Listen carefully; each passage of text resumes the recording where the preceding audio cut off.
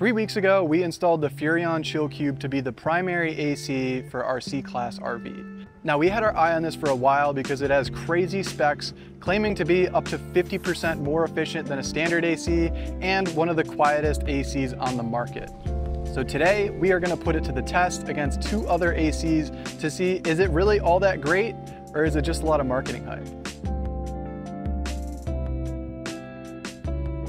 So we're gonna take a look at three different units today. We're gonna call it a budget unit, a modern unit, and then potentially the future unit that would be the Furrion Chill Cube. And we're gonna compare some noise specs as well as do some efficiency testing to see does the Chill Cube actually come on top or is your money better spent in one of these other areas? Two of these ACs are gonna be on identical travel trailer units.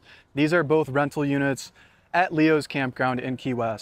So the first AC we have today, it is up on top of this travel trailer right here. It is gonna be a GE unit. It is a 13.5 thousand BTU unit. So this is the underside of the unit. This is a ducted AC and this is a 27 foot travel trailer. These came new with these GE units, but this is a good AC to use as a benchmark to see what comes on kind of a budget level RV that you get from the factory. But the best price that I could find was actually from United RV. So you can buy the rooftop unit for this for $650, the distribution panel for 200, and then the thermostat for 100 for a total of $950. So this is gonna be the budget setup. This is what you can get for under a $1,000.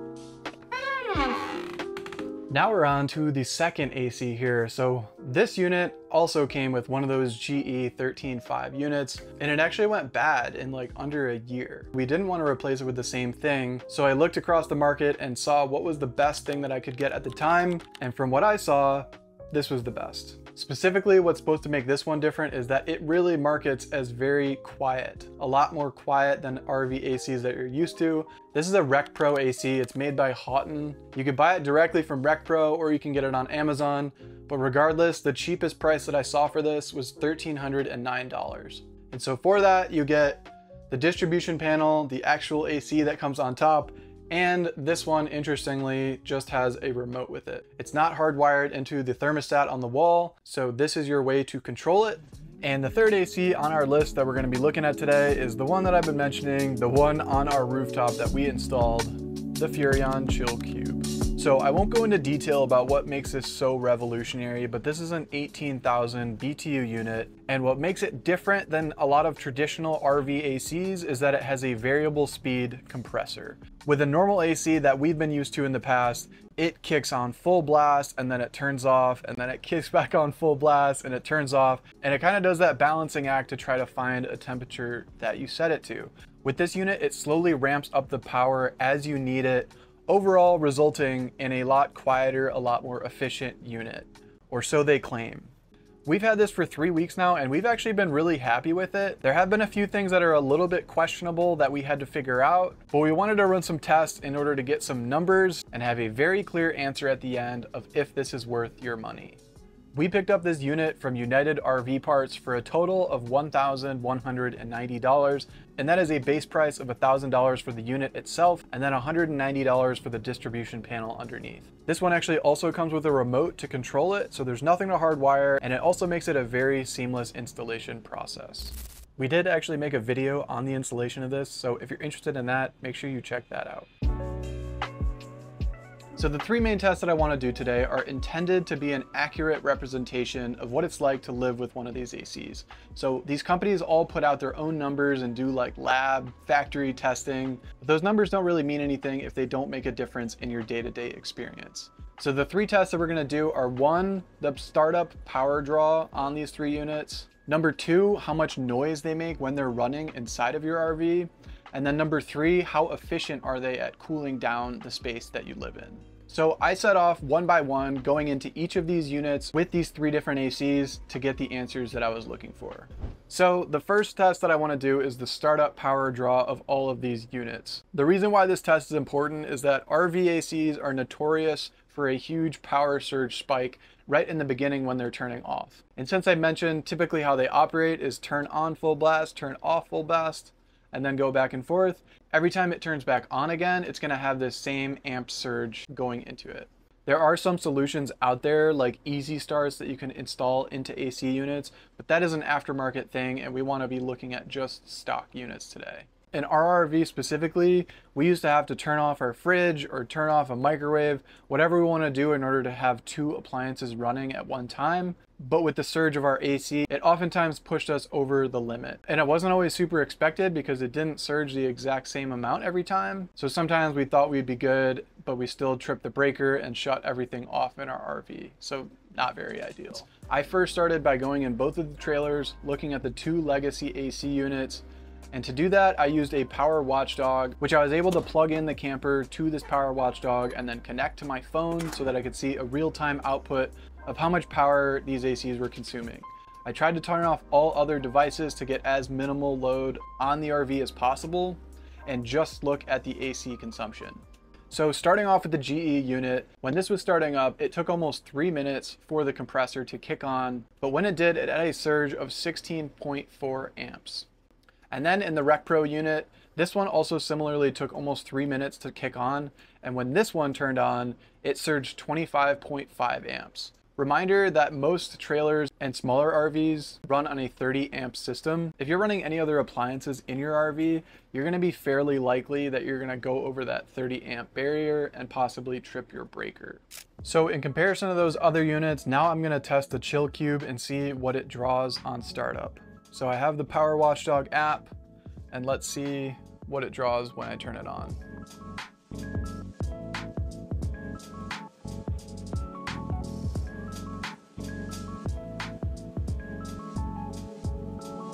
Okay, so really from that you can see there was no spike at all with the Chill Cube. It basically has a built-in easy start, so it's not gonna put a lot of stress on any of your electrical equipment or anything like that it just slowly ramped up one, two, three, four amps, topped out at about seven amps. But the point being is that when you start it up, there is no initial surge. So since we've been running this AC, we have had no issues with running an air fryer, having the fridge on, heating up water in an electric kettle, using the microwave.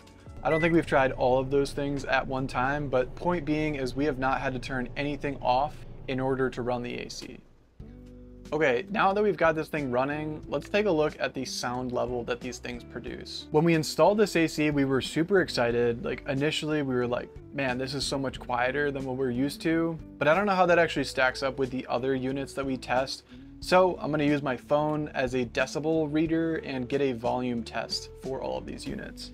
In order to keep some standards, we are testing only these units while they are ducted. So we're not opening the direct dump and then we're gonna get a reading of what it is on the low setting and then what it is on the high setting. So starting off with the GE unit, when going into that one and checking the noise level, I put my phone about two feet away from the actual direct dump of the AC, even though that was closed just to get a consistent reading. So on the low setting of this AC, it read 58 decibels. And on the high setting, when we turn that on, it read 61 decibels.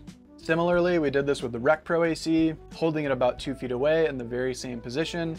On the low setting of the RecPro, it was 53 decibels, and on the high setting, it was 57 decibels.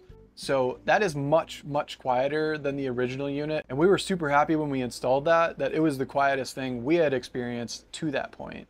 But let's see how it compares to the Chill Cube. Okay, so I've got my handy dandy decibel reader ready. Let's see what this thing comes out at. Turning on a low setting. Okay, I think the highest that I saw was 47 decibels. Let's try on the high setting.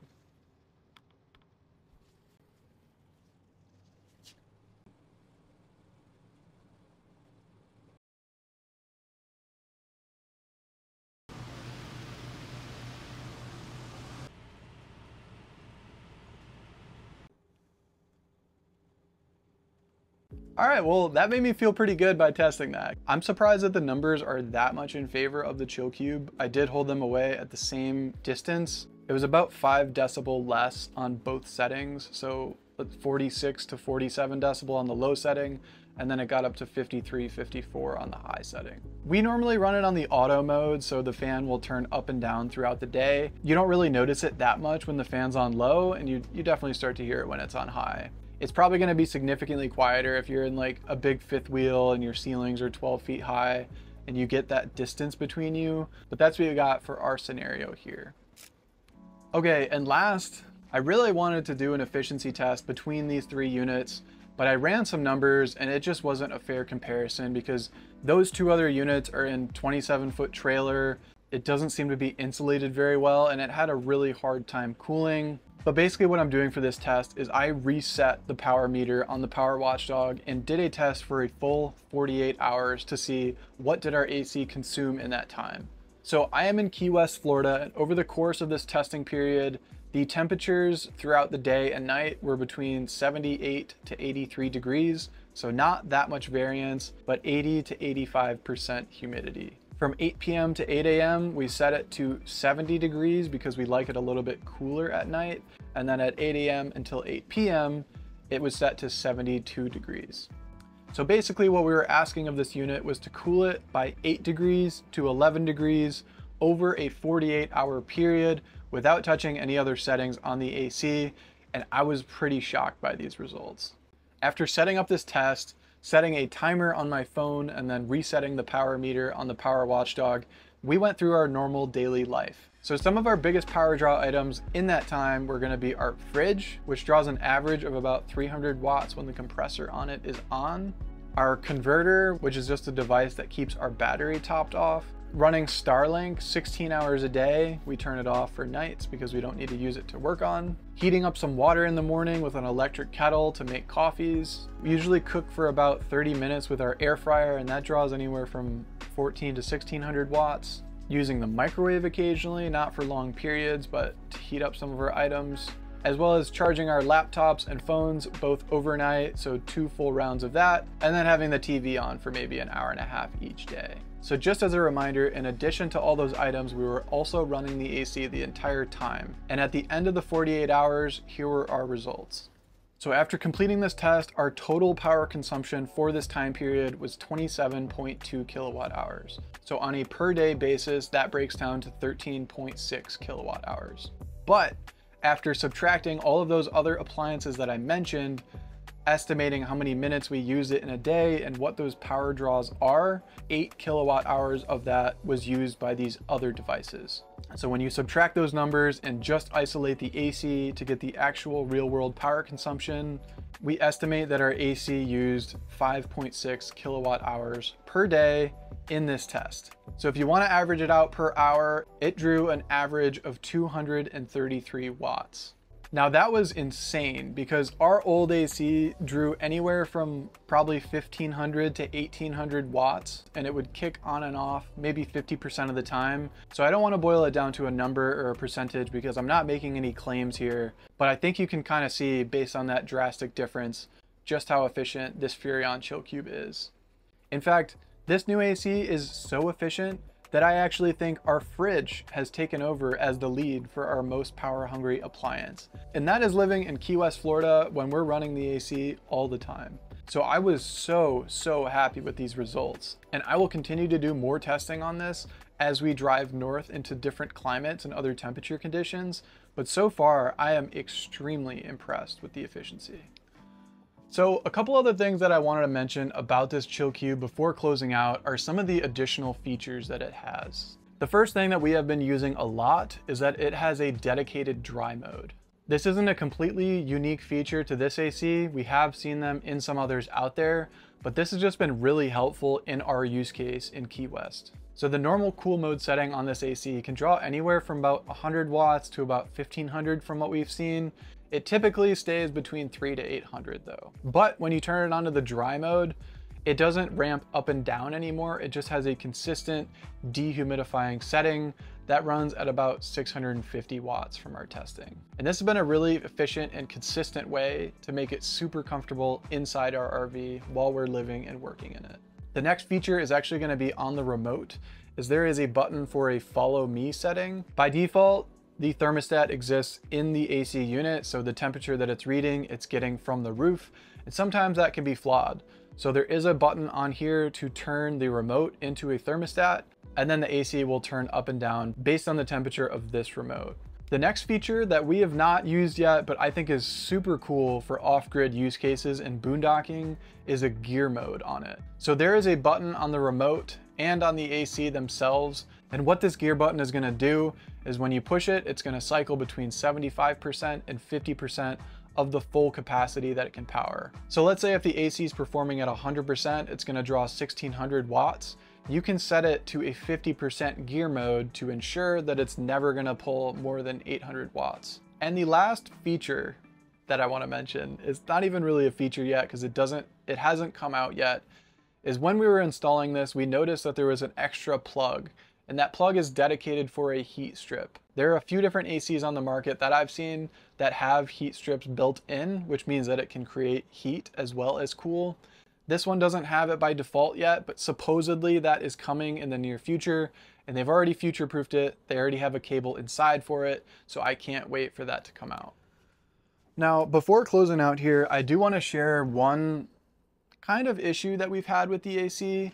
So I would say in a general sense, the thermostat hasn't been super consistent. So it took us a few days to play around with it. At first we were using the follow me mode on the remote, and then we were turning it on the AC itself, but there is a weird issue where the remote and the AC don't always sync up with each other, so it's hard to verify what setting you're on. If you're looking at the remote, it might say something different than the AC, but one thing that we saw online that was super cool that we are trying out at the moment is this smart thermostat for it. So we might feature this in a future video. We are still testing this out. That basically turns the Furrion Chill Cube into a Wi-Fi connected device which is really nice because we like to be able to control things from a distance. Or if I'm just laying in bed and I'm too lazy to get up, I could just grab my phone and change the temperature from there. Overall, I have been so, so extremely impressed with this unit.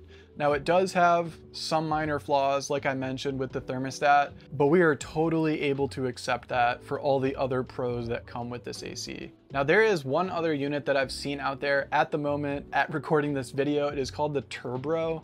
It is the only other AC I've seen that has a variable speed compressor. That one though I've seen listed at $600 more than this one costs, and it's only 13.5 BTU.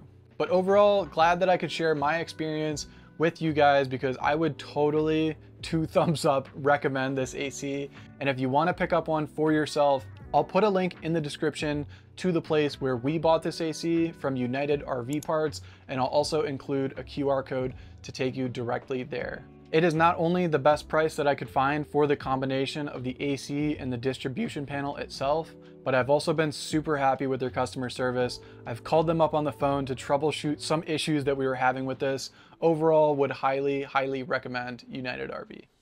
Well, that is gonna do it for this video. Thank you guys so much for tuning in. We will keep testing this thing out as we are getting ready to hit the road here and head north. If you liked it, make sure to give it a thumbs up and feel free to leave a comment down below if there's anything you're interested in that we can help answer. As we are an open book and we're just really looking to help you guys.